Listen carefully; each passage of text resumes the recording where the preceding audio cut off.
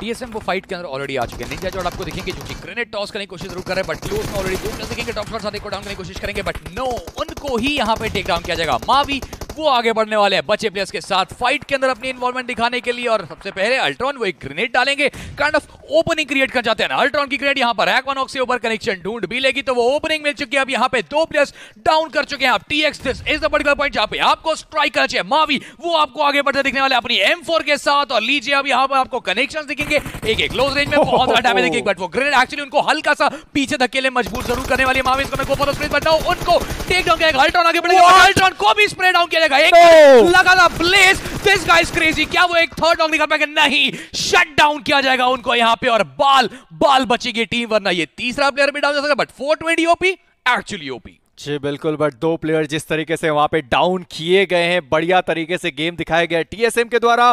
But अगर बात करी जाए टीम एक्सपार्क की चार फिनिशेस उन्होंने निकाल लिए हैं और बात करें तो चारों प्लेयर को सरवाइव करेंगे। ओजी वर्सेस 8 बिट की फाइट चलती हुई वहाँ से ब्लाइंड तो निकल गई बट ओजी से 8 बिट की जो स्क्वाड थी वो